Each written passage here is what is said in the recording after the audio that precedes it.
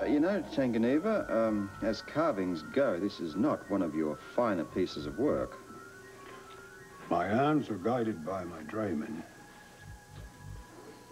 Aborigine dreamings, yeah. You told me a lot about those when we were in the outback together. At least you believed them then.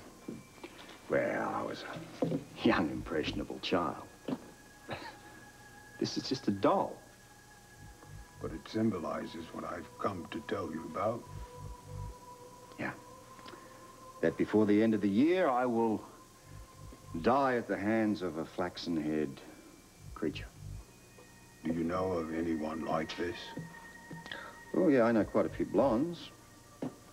Probably 50% of them would like to see me strung up by the thumbs, too, but... Kill me? My friend, we must... Talk. Ah, look, look, look, look, you've had a long journey, and you are going to stay with me, okay? We must talk. We'll plenty of time to talk. You always were a skeptical child, Amanda Bunny. Yeah, well, not much has changed. you must take my prediction seriously. Yeah, well, I'll work on that. Uh, uh, come to think of it, there is a flaxen-haired creature who'd probably like to kill me about now. I'd ring her up, but we're not talking. I could just strangle Robert. Now, now. No, I can't believe that he would think I would do something so juvenile. No, no, so utterly, obviously blatant as to place bridal magazines all around his house. Hint, hint, let's get married, nudge, nudge. I wouldn't do something like that. You know, if you had played your cards right, you could turn this whole situation around to your own advantage. I told him the truth. That's your first mistake. Take it from an expert when it comes to men, the little darlings. A little subtle manipulation doesn't hurt a bit. What do you mean? Well, for example, um, come here. Come here.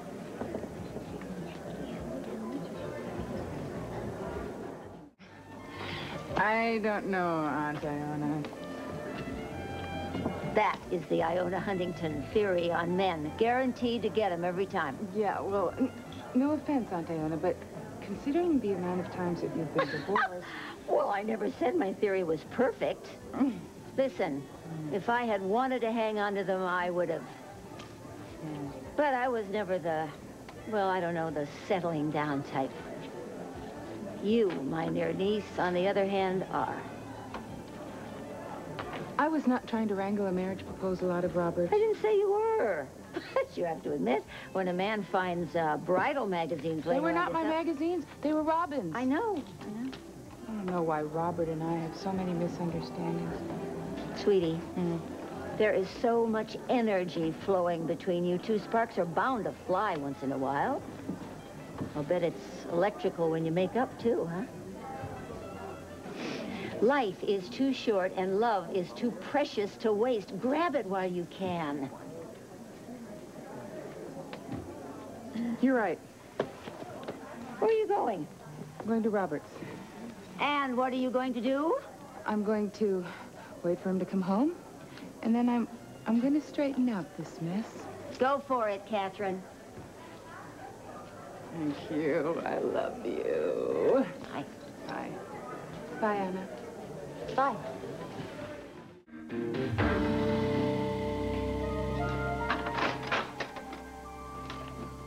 Welcome to my humble abode. Watch out I me. will not slip on the carpet. What you know? I have seen this place in my dreamings when I was trying to communicate with you. Yeah, I guess my reception's a little off. I must clean up the satellite dish. You still do not believe me, do you, my friend? Yeah. Look, why don't I light us some fire? It's getting a little uh, cool in here.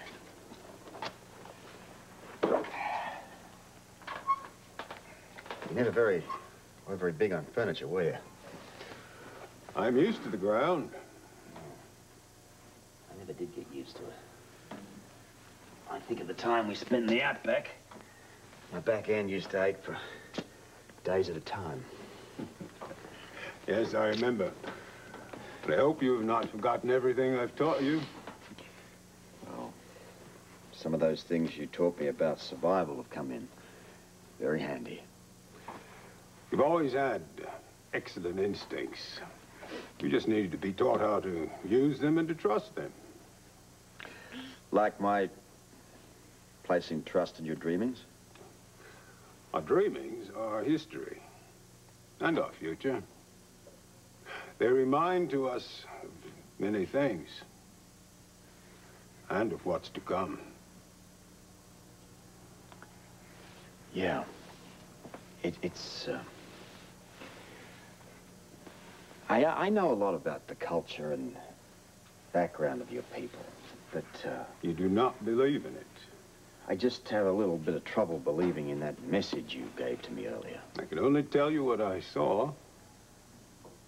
Yeah, but I know Kate. And if you knew her, you... You would see that she couldn't do harm to anybody, in particular me. I never said uh, this woman, Kate, this... You said something about um, a new era in my life commencing around December. Now, that was roughly when I met her. Well, I am not a fortune teller, Mondo Bunny. I can only tell you what I see. You can't by any chance dream up an address on this blonde, will you, so that I can run around there and maybe nab her? Your instincts will show you the way if you trust in them. You trying to tell me that not all of your dreamings come true? It's a warning, my friend. You can either listen or ignore it.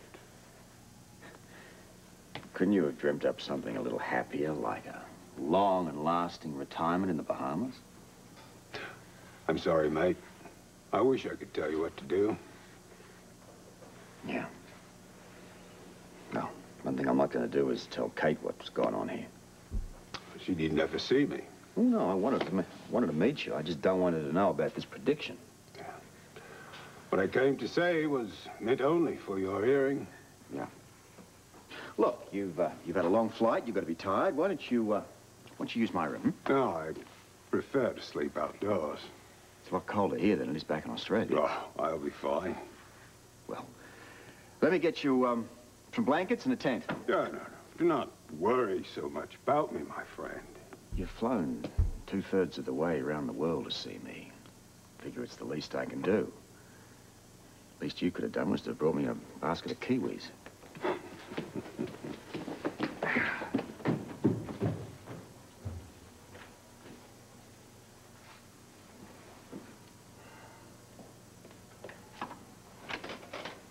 Robert? Good, you're home. Uh, look, I think I think we should clear up this mess and, and talk about this, don't you? Robert? Uh,